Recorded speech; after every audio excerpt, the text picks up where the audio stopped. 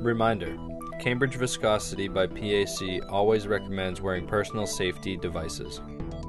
The following video will show a user how to test a sample with the ViscoLab 3000 and ViscoLab 4000 systems.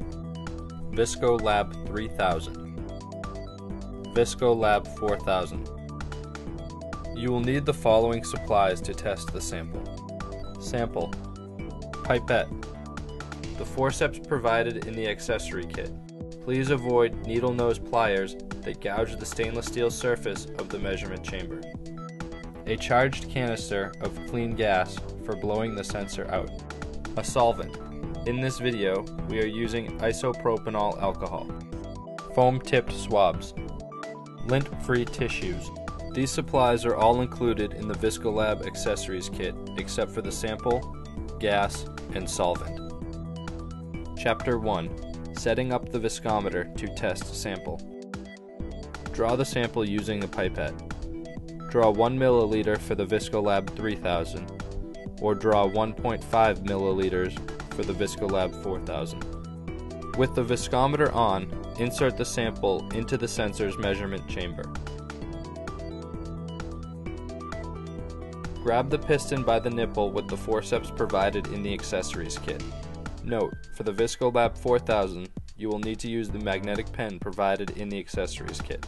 Carefully guide the piston into the measurement chamber with the piston nipple facing up until the piston is fully submerged by the sample. Note, for the ViscoLab 4000, please place the piston into the measurement chamber with the flat end up. Chapter 2 Choose a viscosity range. From the main menu, push the down arrow three times press enter on choose range. Use the up and down arrows to select the desired viscosity range that correlates to your piston range. Press enter once the desired range is chosen. Note, for this video, we are using a viscosity range of 25 to 500 centipoise. Chapter 3 Operating the Visco Lab. Push the up arrow three times and press Enter on Operate. Now press the down arrow three times to select Analyze and Report. This should take a few minutes while the viscometer generates the report. The viscometer will go through the following six steps.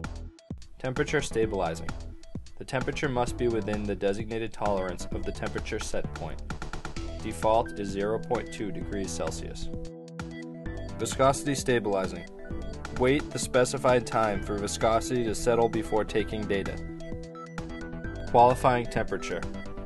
Wait for the temperature and standard deviation to drop below the programmed set points. Collecting data. The system will collect 20 viscosity data points. Qualifying data. The system will collect 20 more data points and compare to the previous 20 data points. Report data.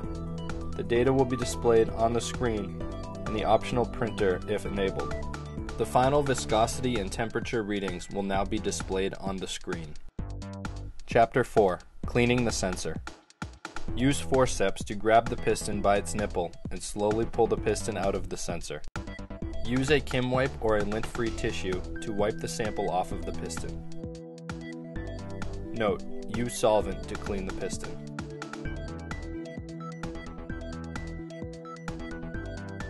Insert the pipette into the measurement chamber. Squeeze the pipette to remove as much sample as possible. Repeat as necessary.